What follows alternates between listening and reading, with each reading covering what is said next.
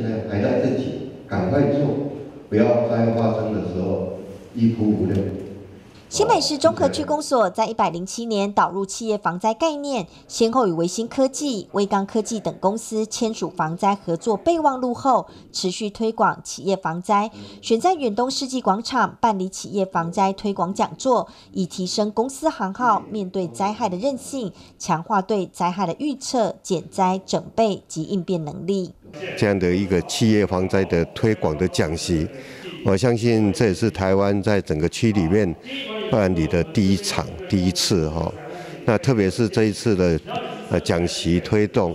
哦，非常感谢我们远东世纪广场、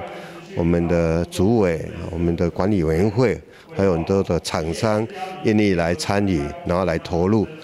针对企业防灾，中和区公所说明区级企业防灾计划推动，并且邀请威刚科技公司分享近两年与市府及公所签订企业防灾 MOU 合作经验座谈，透过实务的经验分享，带动更多公司行号加入企业防灾行列。在我们园区里面也都有做消防演练呐，哈，那其实这一次正诶正式在启动就是企业防灾，如何让我们企业能够受到更好的一些更好的回馈，还有一些能够能够让我们自己怎么去救灾，然后又救自己又救到别人，那以这些来讲，对我们来讲，我们是非常有帮助的。